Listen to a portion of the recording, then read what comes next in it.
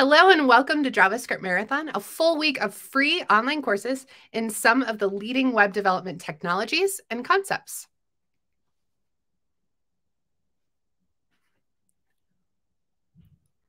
Happy to introduce Rob Ocel. He's going to be our trainer today. He's going to be presenting and building Stripe apps with React, learning once, writing everywhere. Welcome, Rob. Great to be here bit about who we are at this dot. So this dot labs probably partners with enterprise eh, enterprises interested in transforming their digital assets, upskilling their teams, and finding novel avenues for advanced integration. If you're interested in seeing some of our work, we have amazing clients that we're going to show in the next slide. Take a look at our portfolio page. It's at thisdot.co forward slash portfolio. Some of our amazing clients, we love our clients, and we also are hiring. If you're a senior software engineer, email us at jobs at thisdot.co. Send us your information. We'd love to hear from you. And we have a ton of upcoming events as always. React Mentoring comes back on June 7th, as well as State of Angular Ecosystem. We have our Women in Tech Monthly Mentoring June 15th. And then we're rounding out June with State of Web Components, June 21st. And with that, I'm going to hand it over to Rob. Great. Thank you, Sarah and welcome everybody. Thank you for taking time out of your day to watch this presentation about building Stripe apps. Now, first of all, some of you might be listening and saying, Stripe apps, I don't even know what those are. Well, you wouldn't be alone. This is a just recently announced uh, offering from Stripe, the ability to extend their platform with React based applications. And so today, uh, my goal is to introduce this concept to you, uh, what they are and why they're interesting uh, why we should care about them as uh, web developers and as JavaScript developers. Then we're going to go through what are the elements of these Stripe applications and how they differ from React applications. And finally, we're going to build a new Stripe app from scratch and show you how to get into it so that you can start playing with it on your own time. Now, the first, I want to make sure that everybody's on the same page because many of you may not have ever opened up a Stripe account or seen what it looks like when you have a Stripe account.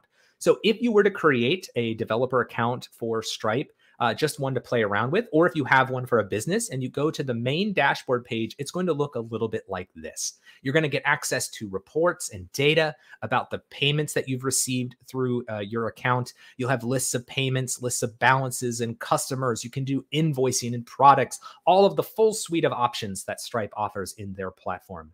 But until now, most of the functionality, and certainly all the functionality that you see on the Stripe website itself, was based and developed by Stripe.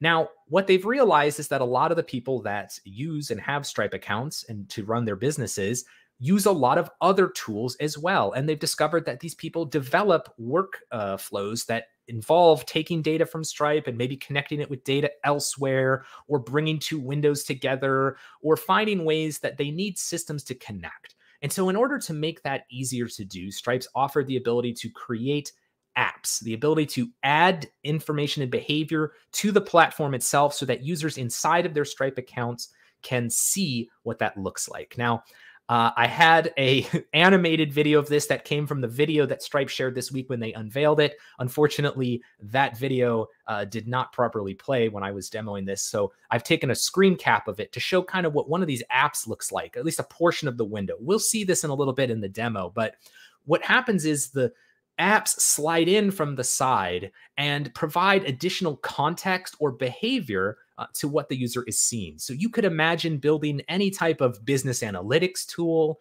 uh, any other type of uh, productivity tool, or a tool that brings data from a third party system, uh, some other uh, existing service that users that might be using, and brings that data. Uh, correlates it to data in Stripe and displays it side by side, just enabling users to really make uh, a difference in what they're trying to do. So why do I even bring this up, right? Why should we care about Stripe apps, right? You hadn't even heard about it today. Why should we care as web developers, as JavaScript developers, as React developers? Why should we care about Stripe apps? Is it because I work from Stripe or I get some sort of payment if people build Stripe apps? Absolutely not. I have had the opportunity to be playing around with these Stripe apps for a little while. And one of the things that really inspired me is just what a great example they are of how learning frameworks like React and learning JavaScript can just open doors to develop all sorts of new experiences all over the place. And Stripe apps in particular are a great example of doing this because building Stripe apps, just like building Shopify apps or uh, WordPress plugins, provide an opportunity for possible monetizable side projects if that's an interest of yours. If you're a business owner, it gives you access to a large pool of potential new customers through Stripe uh, users. Or if you're a friend or relative or somebody that has one of these businesses on the side who has had pain points when using Stripe or uh, difficult workflows that they haven't been able to implement or that they wanted to automate, you now have the ability to use your coding ability to help them to develop those workflows and apps that might be able to make their lives easier and maybe the lives of other users easier as well. And of course, another reason why is because these are we should care about these stripe apps because again it's another reason why learning javascript and frameworks like react are just a great idea for uh, having just a long and productive and interesting career in any capacity that you want to. So let's briefly talk about what Stripe apps are then. We know React is involved, certainly, but what else is involved? Well, Stripe apps are built from uh, a few different rudiments. First is going to be a manifest file. Now, if you've ever developed things like a Chrome extension or even a native app before, you might be familiar with these types of manifest files. They're sort of like a collection of settings and configuration that explain how your app is going to be run by the Stripe platform. It would explain what types of permissions you need, what types of views exist, what types of icons should appear, and anything like that that's related to how your app is going to integrate with the actual Stripe platform. Another pillar is the Stripe CLI. This is going to give us the ability to scaffold new applications, to add new views to existing applications, to manage pub, uh, permissions, and ultimately to publish our application to the App Store itself. So this is going to be an invaluable tool uh, to reduce the amount of manual things that you have to do uh, and just increase uh, the comfort and the developer experience of using these things. Another pillar is the Stripe UI extension SDK. This is going to be a set of utilities for accessing Stripe APIs and doing a host of other things that you're going to find useful when dealing with uh, Stripe apps. There's going to be some parts of building a Stripe app that is not exactly like you would expect it to be from React web apps, and some of the tools inside of this SDK will help to uh, help to alleviate some of those issues. Also, the Stripe Apps UI Toolkit. This is a component library and a design system for building Stripe apps. It's going to help out a lot, especially if you're not particularly design minded. It's going to help you build impressive looking applications that uh, also fit the look and feel of Stripe itself. And so this UI toolkit is, in, is important when building apps, as we'll see. Of course, React is a big part of building these applications. That is going to be the underlying logic uh, that is producing these views and processing the data that we create in these apps.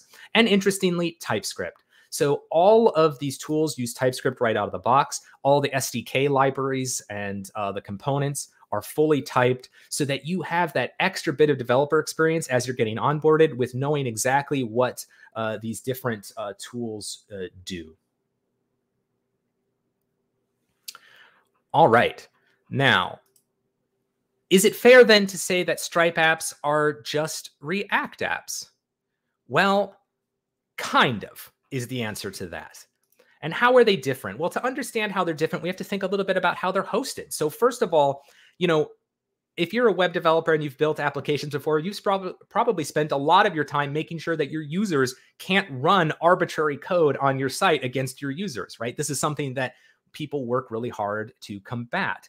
And similarly, uh, Stripe, for security reasons, does not want these apps to simply be running inside of the window itself, opening avenues for data exfiltration or any other types of manipulations or attacks against users.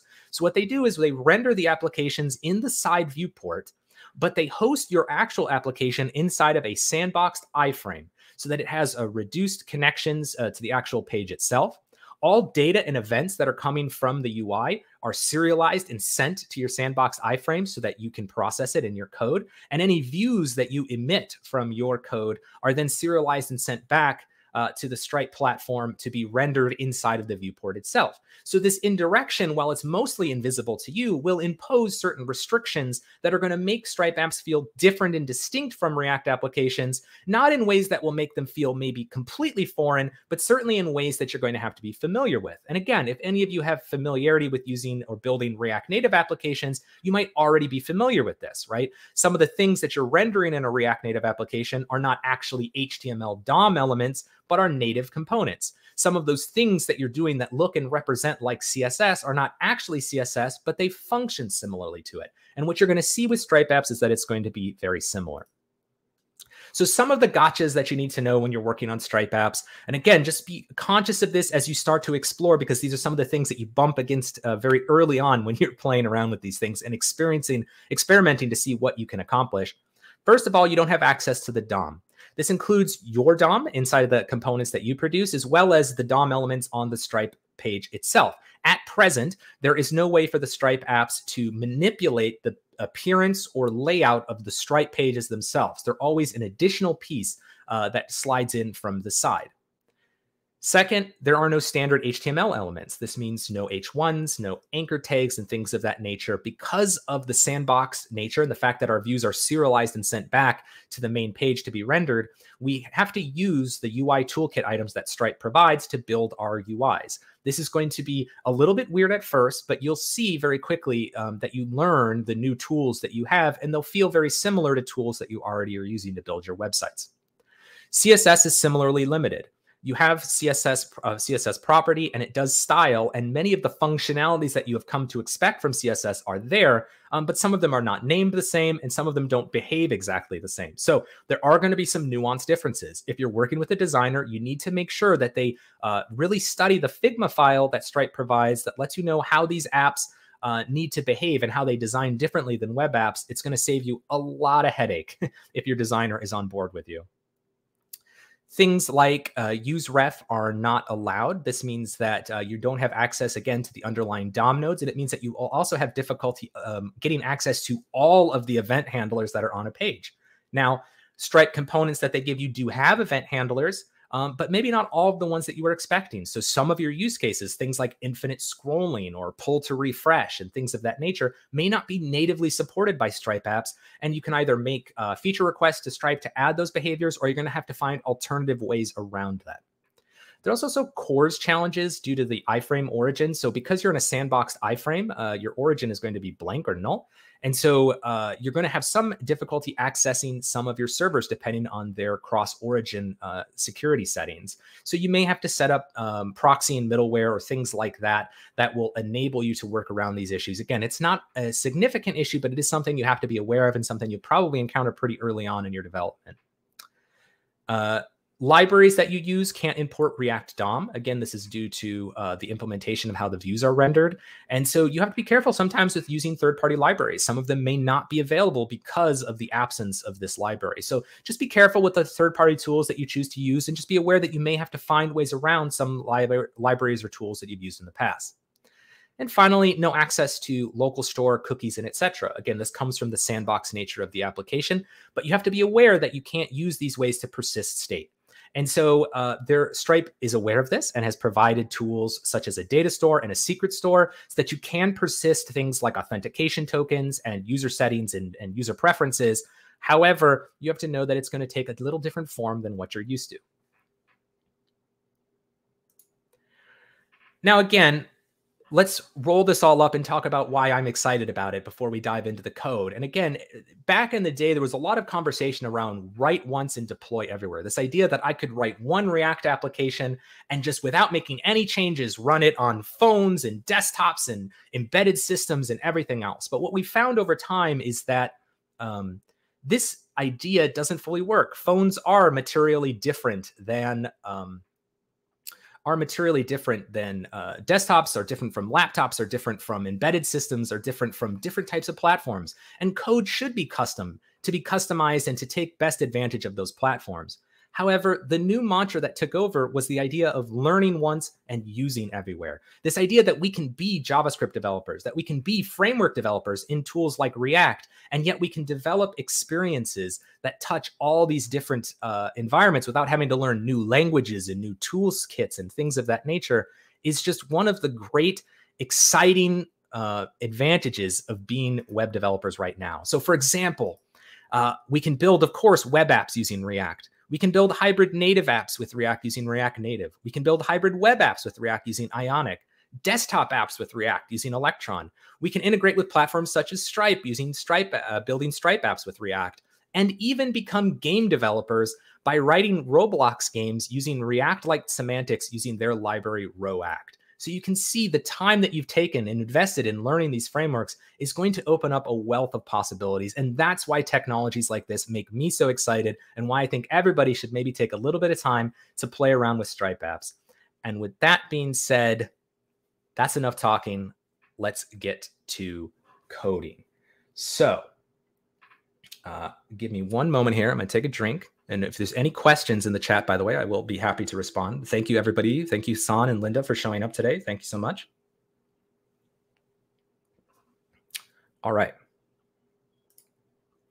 So now here we are on my machine. Now, one of the prerequisites for uh, building a Stripe app is that you need to, uh, to install the Stripe CLI and a couple other basic uh, CLI tools. The instructions for how to do this and how to authenticate and make a Stripe developer account are all included on the documentation on their website. Uh, I won't go through all of that here just in the interest of time, uh, but just know that that is a prerequisite. But once you've accomplished that, you'll have access to this Stripe command inside of your uh, library. And so the very first thing that we're going to do is create a new app. So we're going to do Stripe apps create, and we're going to name it, say, JavaScript Marathon. And it's going to start asking us a few questions. So the first is our app ID. Now, this is like a unique domain-based uh, description. It's supposed to be globally, universally unique. Uh, so generally, you would tie it maybe to the domain name of your site that you have access to. And here it's letting us use an example one, and that is fine for us. So we're going to accept that. Display name, this will be the name of your application as it would appear in the App Store, also as it would appear in the sidebar. JavaScript Marathon works for us for today. And now it is building out and scaffolding that application. It's a very fast process. These are very thin applications. There's not a lot of accompanying tooling that goes with it. And so this process should resolve pretty soon.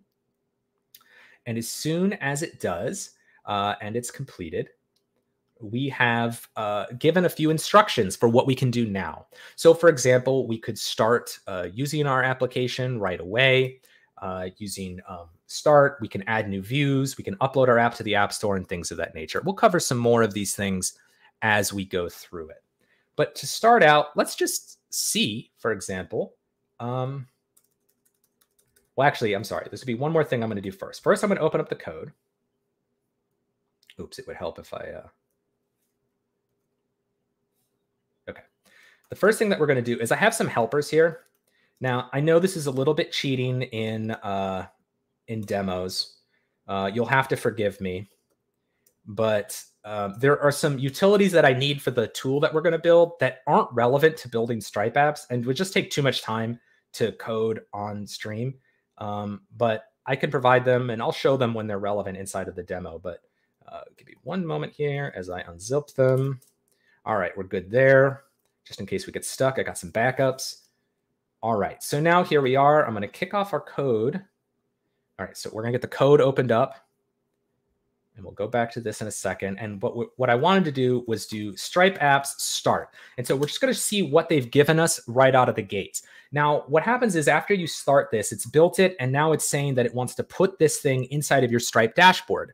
Now, it's going to be doing this locally so that you can um, be playing around with this. And so it opens up and it's saying, where do you want to preview this in? Now, if you have access to multiple Stripe accounts, you'll have a drop down here. If you only have access to one, you only have access to one.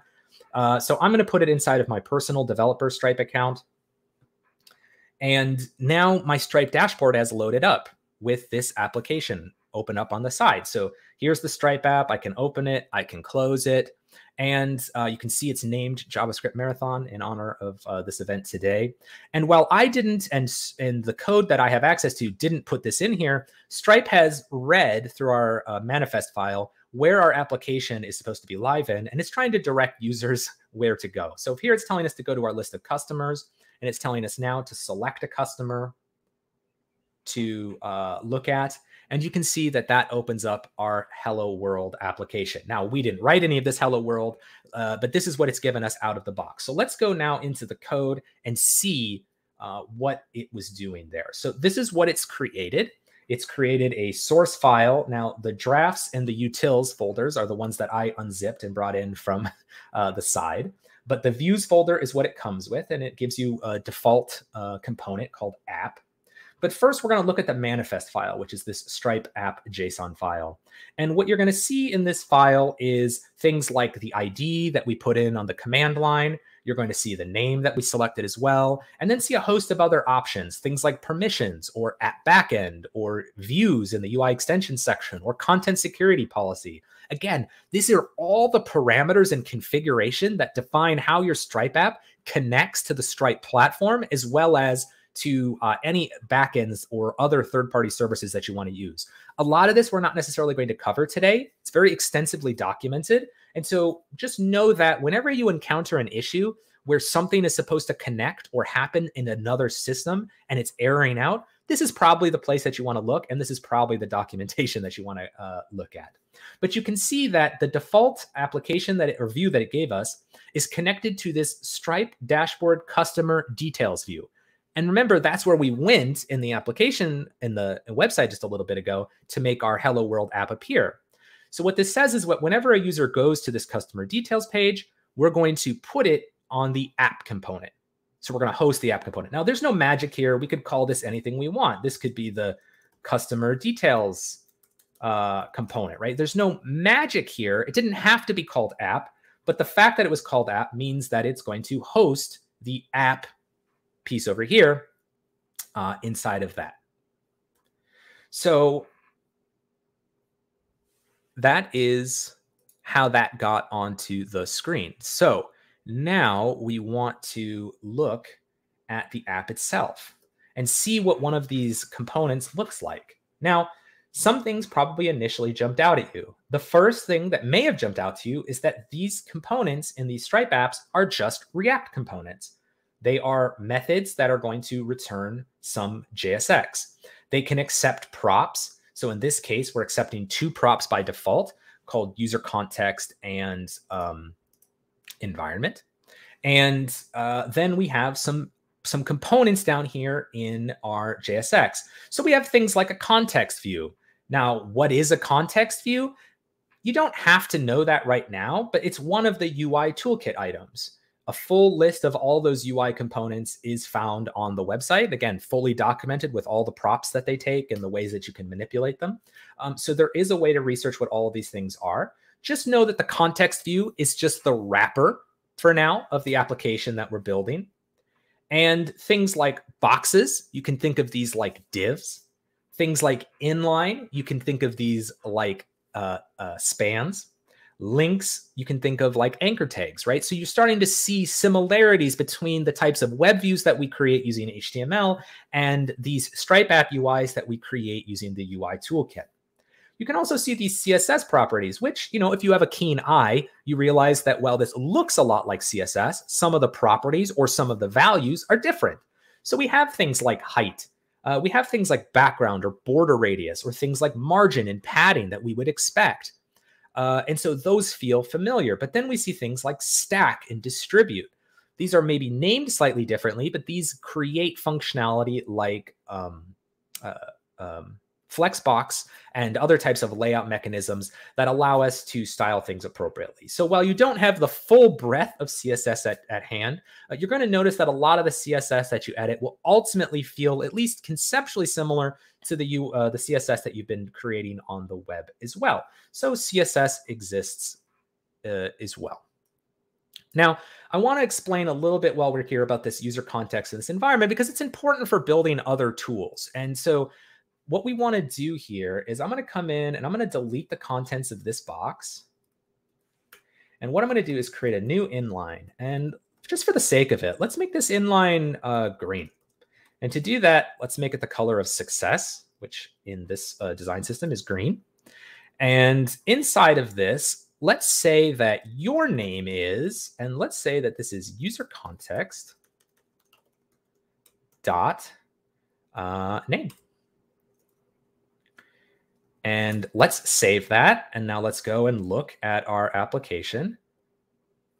Oops, I changed, uh, because I was messing around in the Stripe app JSON, it, it registered a change. So I have to rehost it. Anytime you change that app JSON, you have to rehost it.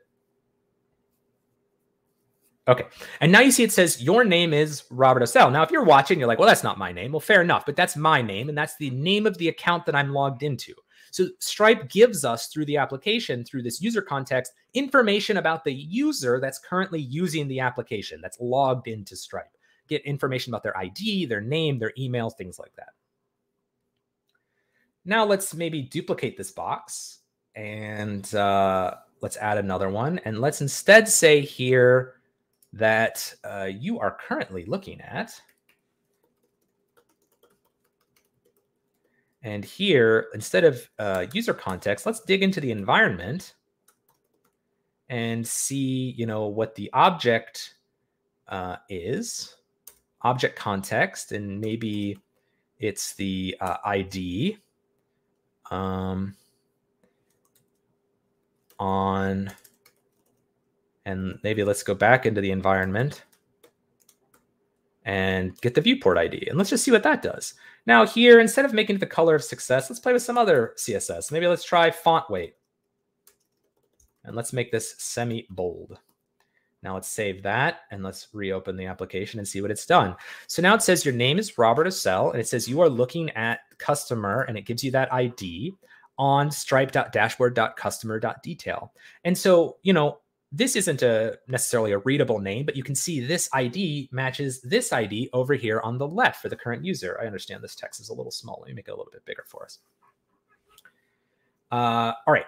So what we have here now is uh, this ability to get access to the context of the page that we're on. So if you were building a view that wanted to know information about which user was being shown on screen at this moment, uh, as well as the user that's logged into Stripe at the moment, you can get access to all that. And that's going to really allow you to build vibrant views that are really contextually aware of where the user is inside of Stripe and deliver relevant information exactly as they need it.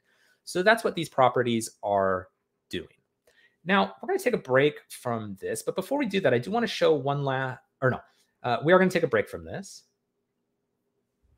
And I'm going to stop uh, the server for a moment because what we need to do next is we're going to add a new view. Let's talk for a second about what we'll build today.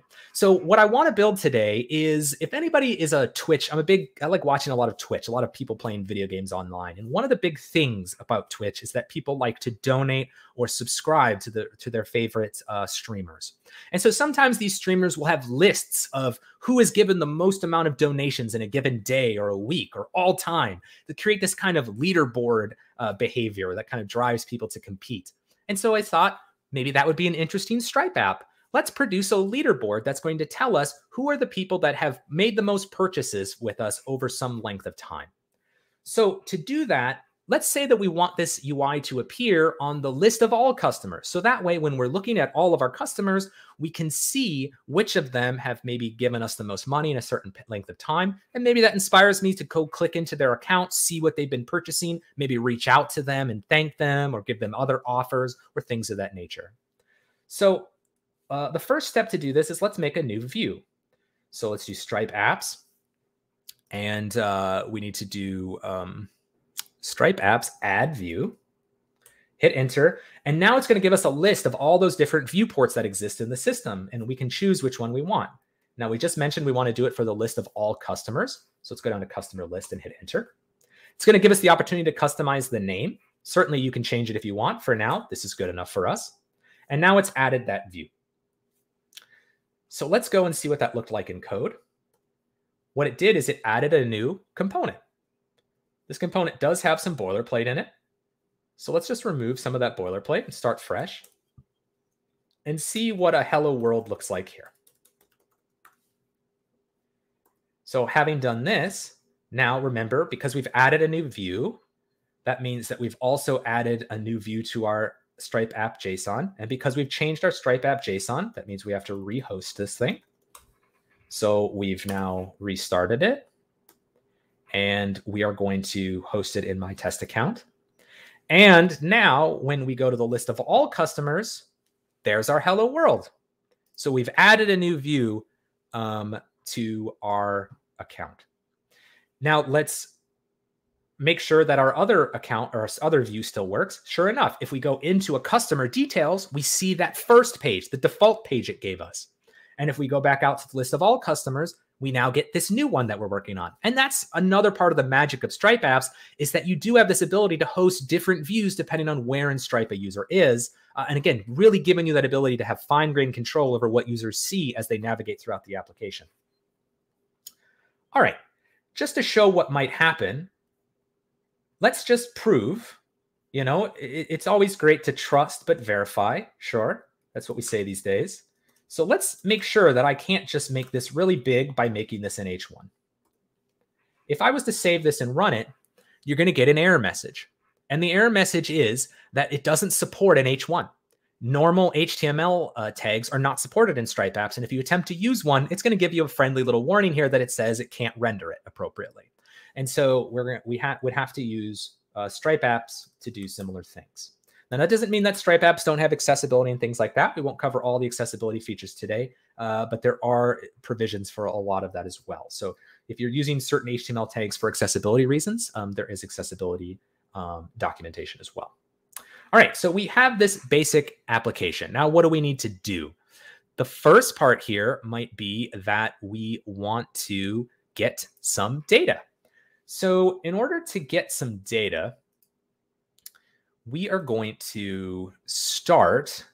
Uh, first of all, let's change this title. Let's just call this a leaderboard. So instead of being Hello World. And what we're going to do then is we'll delete this out. So now our Hello World view is empty. And we need to start getting some information. Now, to do that, we have to get data out of the Stripe API. To get data out of the Stripe API, uh, we need to get access to an instance of the Stripe API or the Stripe SDK, as it were. And so we're going to create a new Stripe, and uh, we're going to use the Stripe API key, which is just a basic thing uh, that comes included in the SDK. And we need to pass it some settings. Now, first of all, we need to tell it where to get Stripe from. Oopsies. And uh, Stripe gets imported from Stripe. So import Stripe from Stripe. So we're going to create a new Stripe instance for the SDK, and we're going to store it here. We need to do some configuration though, because we're going to connect to the APIs. We need to get an HTTP client. Now, you don't have to think like, wow, how did he know to do this? This is all straight out of the documentation and examples. So um, if you're trying to figure out how to connect to backends, this information will be available uh, right through the documentation. And you need the API version. Now, this is just to make sure that apps don't break in case Stripe uh, implements a new version of their API. If you, these don't change all that often, but if you ever need to know what the current API is, uh, you can look on their documentation and it will tell you that the current version right now is 2020 0827. And if there were newer versions, you could see what the differences were if you're ready to update. As soon as you're ready to update, change the version and your tool will work just fine. But that's to avoid breaking changes in apps. So now we have this new Stripe instance. What we want to do next is uh, create a method by which we can get uh, uh, payments. So to create a leaderboard of people who have given us money, we need to figure out where we've received money from. So to do that, we're going to get uh, what they're calling charges, or you can understand them as payments as well. And so to do this, we're going to create an async method. It's async because it's contacting an API, a, a remote API. If you want to do this through promises, you can. I'm going to do it through async await.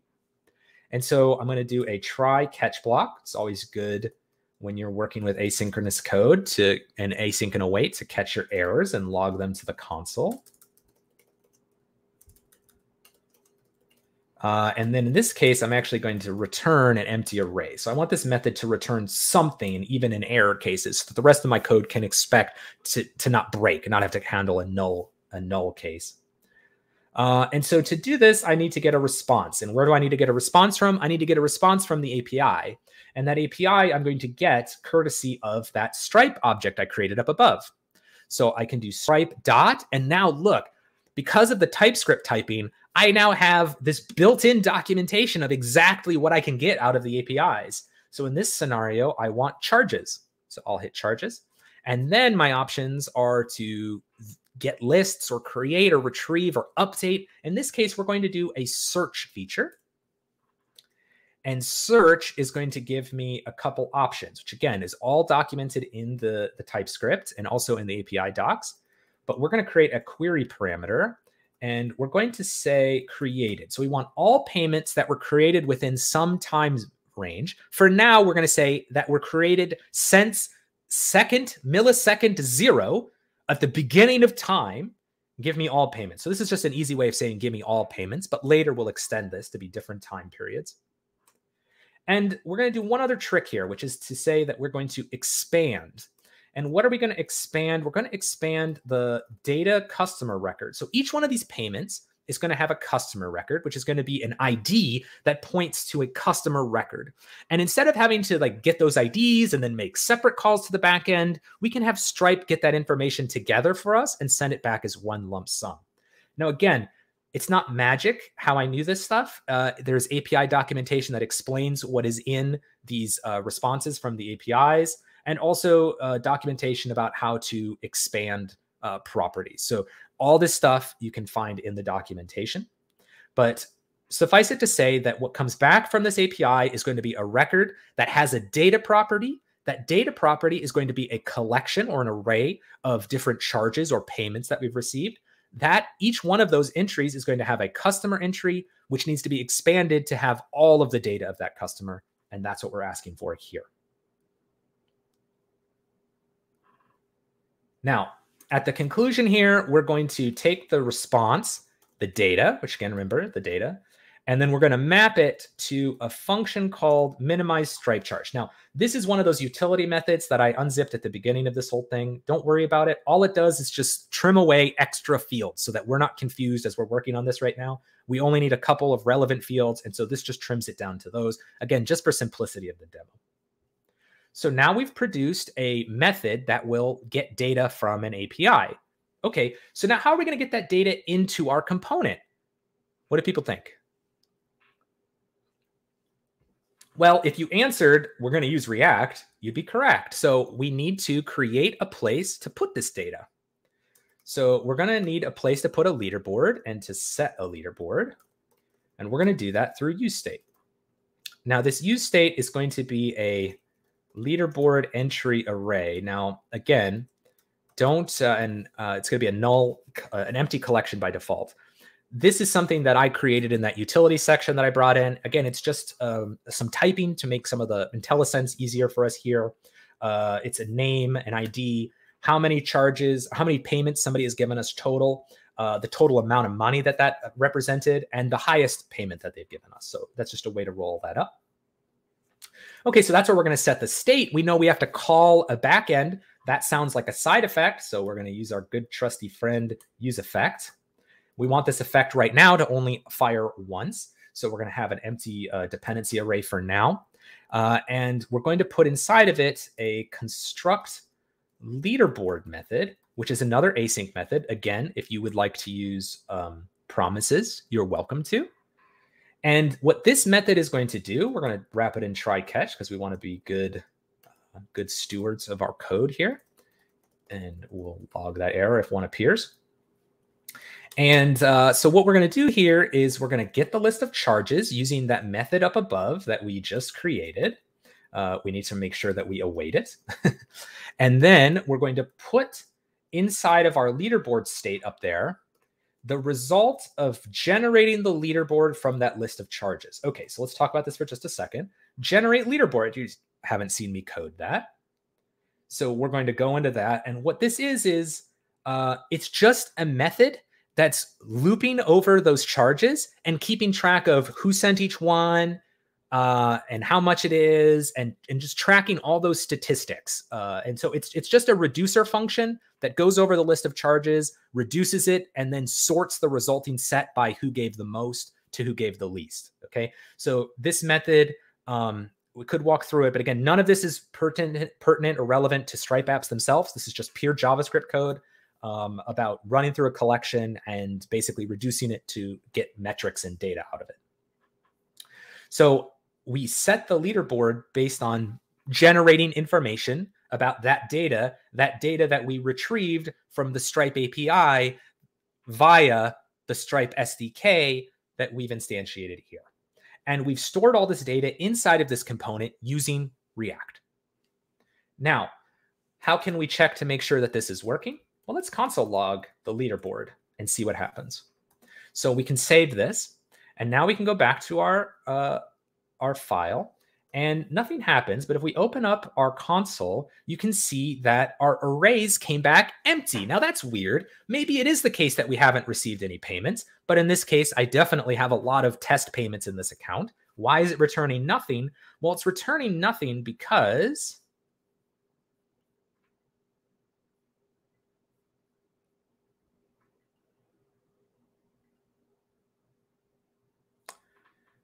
It's returning nothing because of an error it's not displaying. Why is it not displaying my error? Oh, it's not displaying my error because it never called my method.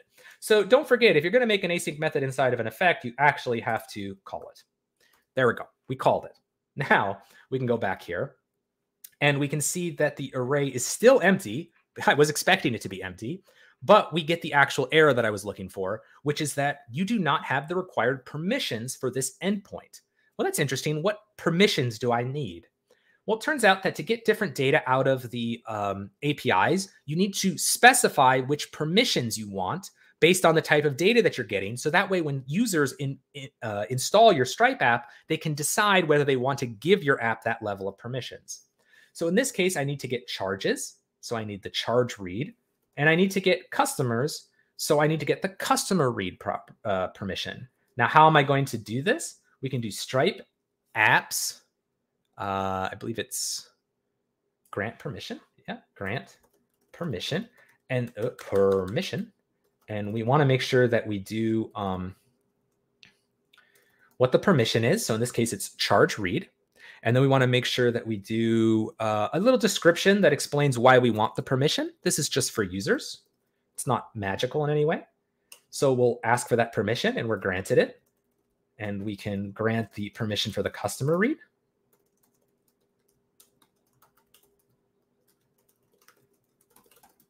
And we're going to get granted that. And now we need to um, restart it and rehost it. But in the meantime, let's look at what that did in the app JSON. You can now see that I have permissions entered here inside of my Stripe, Stripe app JSON. If I just wanted to add them here, I could, but the CLI helps guide us through that process and make sure that we enter things correctly and syntactically correct. So it's a great way to do that. Um, and now if we go back, we rehost the application. And when it loads and we go to the customers page and open up our sidebar, we should now see, here we go, our leaderboard. So here are our customers and how much they've spent and out of how many charges. Okay, so the next step in creating a leaderboard is to, well, actually have a leaderboard. Well, we can do that with a list component. So let's go back to our, uh, our application and let's come into here. And in this empty space that we've left, let's make a list. And for this list, it's going to have a content, and that content is going to be the whoop whoop whoop. It would help if I put my fingers on the right keys. Uh, we're going to go over the state of the leaderboard, and on the each entry of the leaderboard, we want to return a list item, and a list item has a value. This is going to be something that's offset to the right, and it's going to be a string value that is the entry total amount divided by 100. Now, the reason that we divide by 100 is because the values in the API are in integer cents, US uh, cents. Uh, and so we divide by 100 to get uh, integer dollars, or well, to get dollars. then we need, because we're in React and we're iterating over a, a collection, we want to make sure that we put a key and uh, put some other things that the API needs from us. We can put some other style things like the title, and we can put a secondary title, uh, which we'll do across uh, entry dot total charges uh, payments. All right, so now what we've done is that for each entry in the, oops, and then I always forget to close the list item. Uh, and let's format that. Always a good idea. So now for each entry in the list, um, we're going to create a list item. Now, what is it complaining about? It's complaining uh, that we did not uh, import the list from the SDK. Uh, it's not complaining about list item because I think it already pulled that in. Sometimes it does it automatically in my VS Code, sometimes it doesn't. So anyways, we've imported both of these components now. And so now for each entry in the leaderboard, it's going to create a list item. So let's see what that did. If we go back to uh, the UI, come on now. Oh, I didn't hit save. It helps to hit save. When the data comes in, we're going to see now a list of payments. So now we've created our rudimentary leaderboard. So for all time, uh, these customers um, have given us this uh, these amounts of payments. All right. So that covers that portion. Now, let me double check that. Yeah, created greater than I feel like I'm expecting more money than that. but we'll run with this for now. All right. So, what can we do next? Well, what if we did a spinner, right? Spinners are pretty common. So, what if we said when we get, uh, let's, you know, it's, I keep seeing um, our good friend David Khourshid from uh, XState saying, you know, don't do an is loading uh, property, but uh, he'll have to forgive me because I'm going to do one. Uh, so for now, I'm going to do a use state false for whether I'm loading. And right before we call out to the API, I'm going to do set is loading to true. And right afterwards, I'm going to do set is loading to false. And this is going to put up a spinner for when we are um, loading. And when we do that, then we're going to say that uh, when we're loading, we want to um, create a spinner. Now, to create a spinner, uh, all you need to do is add a spinner object, and it's just going to animate a spinner. And uh, we need to make sure that we import that spinner. And so uh, now I can format my code. All right, so now if we were to go back and look at this code, you can see when it's loading, the spinner is sort of off to the side. Maybe we don't like the way that that looks. So maybe we'll put it in a box, which remember is very much like a div. And for this box, we'll put a CSS property, which is going to be an object. And let's give it a layout of column, which is going to make it be basically like a flexbox column. Uh, we're going to tell it to align X center, align Y, center. I think one of, I think the this align Y isn't going to be relevant because I did column, but um, anyways, yeah, I, I, can actually just delete this. It doesn't do anything in column mode. Uh, and so if I format this, save, now it's going to put the spinner in a slightly better location, which I can close this and reopen it, and you can see that spinner in a slightly better location. So, you know, stylistically, again, we have a lot of capability in the CSS, uh, not infinite flexibility, but again, we have quite a bit of flexibility. Now, this is an interesting thing for the leaderboard, but you know, there's not a lot of like dynamic behavior here. So maybe we want to add some filters to this property and we want to allow users to select a certain time range uh, in which they want to um, retrieve the results from. So, like today's rankings, yesterday's rankings, all time rankings. And so, let's uh, do that. Now, to do that, that sounds an awful lot like we need a drop down box. So, let's add that, right? So, let's start by creating uh, a place for this, which is going to be a box. Whoops, whoops. A box. And then from the box, we're going to uh, add in a select. And inside of select, we need to add options. And so we're going to add um, some options with some text. And we're going to have uh, four of these. And um, again, this is going to be using some utilities that I had produced ahead of time. We're going to do time range dot all. And hopefully it, there we go. It's questioning where I got that from. That's where I got it from. Time range dot today, time range dot uh, yesterday, and time range dot this month. And so here we can do all today, yesterday, this month.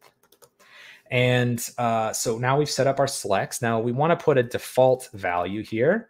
And so the default value will be all by default. So here we go. There's that. Let's see that that got rendered. See now we have a dropdown. Doesn't do anything, but it lets us pick from a list of options on what we're trying to do here. Now we need to make sure that the current value is stored in um, in state Uh, and so what we want to do here is uh, add a place for it to be in state. So const uh, time range, set time range equals use state. And again, our default was all. Okay, so we have a place to put it. Now in this select, again, remember, we don't have all, uh, uh um, we don't have all uh, events available to us, but we do have some. And so we have the on change, and that's going to get in an event. And we're going to just set the time range directly from this. We're going to do e dot target dot value. So again, if you've used inputs in the web, this should feel very familiar. And just for the sake of the um, TypeScript, we're going to say that this is actually a time range value. We know that because we've selected them down here. And so this state value is going to be updated every single time that users pick something different from the box. Another thing that we might want to do is maybe add some CSS in here. Oops, let me uh, say enter. And we'll do some stuff like give it a cool new background. And maybe we want to add some padding to it. And uh, again, do some alignment to center things. And maybe we're going to do a column layout so that it kind of does some nice stuff there. And we're going to do a small gap. And what we want to do is put some text here that says like filter leaderboard by time period. And let's save that and just see that that looks okay. It looks all right as it loads up. Today, all. It's great. And uh, going back then to the code, we need to make this time that we select actually affect something. And so to do that, we need to change the data that we get, right? So right here, we were getting uh, at the top, we were getting all data. Now we need this thing to take a time range. Uh, and so what we want this to do is to uh, affect this value. And this is going to be called get epoch value for time range start range. Now, again, this is a utility that I created that's just munging data for simplicity's sake. don't don't worry about it too much. But it's going to get an epoch value. Now this uses epoch seconds instead of epoch milliseconds, so there's some divide by a thousand in there too. Um, it's a whole thing, but it's all in the documentation. And so now, if I pass in a time range, uh, I will get data for that time range. Now down here, we didn't pass a time range. So for now, let's do time range all, and let's save, and let's verify first and foremost uh, that uh, that still works. So you can see the app still works even with the changes that we've made. But when we change it, it's not going to do anything yet. So next, we need to say that this needs to pass in the current time range. And so that will pass in the current time range. But again, there's something that we're missing, and it is now, you can almost see the little warning down here uh, that it depends on time range. So when time range changes, we want this effect to re reoccur, and uh, we want to um, clear out the old data, and fetch new data for the new time range. And uh, we can get rid of this console log statement as well. So now when we go back here, we're going to see that we should be able to hit uh, yesterday, get information, today's information, and maybe this month's information. And so there you go. So what you can see is um, we were able to add this sort of dynamic behavior. And again, a lot of what you just saw me do was all basic React. We could continue on from here and add even more features. Uh, we could make it so that when we go into customers, we see what their, you know, when they ordered the most products or what their best month was or what their streak was as far as how many months in a row, right? We can continue to build this gamified leaderboard concept using uh, React concepts built on top of these um, uh, Stripe UI toolkit items. So hopefully that example was inspiring and interesting to all of you. If you are interested, please do go to uh, stripe.com into their developer section. Inside of their developer tools documentation, there is a Stripe app section with uh, create an app and that walks you through the whole process of getting started. All you have to do is make a Stripe account. It's, it's, you don't have to buy like a developer license or anything like that. Like I said, it's just totally fun to play with, just to see what the possibilities are and to challenge yourself to take your re existing React knowledge into a new environment and adapt it slightly to see what you can accomplish in a new environment. So, if there's any questions, I'm happy to take it. But otherwise, what I would do is draw everybody's attention um, to um, uh, our website at this dot this dot labs. So on this dot labs we've actually published an, an additional set of uh, blog posts this week uh, talking about um, other aspects of building a stripe app. So things like how to build it connect it to a backend advanced tips and tricks how to structure applications things of this nature so if you want more in-depth information about how to build these stripe apps certainly look for us at this dot uh, dot co and, and look up uh, this dot labs excuse me uh, and and you'll be able to find it or look us up on Twitter at this.labs. Uh, we've been posting links to those blogs this week as well uh, to celebrate the launch of these apps. Well, uh, if there are no questions, then that is it for us today. Thank you, everybody, for attending this edition of the JavaScript Marathon. My name has been Rob Ocel. You can find me on Twitter at uh, right there, RoboCell. Please reach out to me. Let me know how you're getting on with these apps. Let me know if something interested you or if you'd like to see another exploration of Stripe apps in the future and a particular part of it. Maybe we'll come back and explain how to build a backend that connects to third party resources, connect authentication, and all that sort of fun stuff. Uh, but for today, I think this will do it for us. So thank you, everybody, for attending and hope to see you at the next JavaScript Marathon. Bye bye.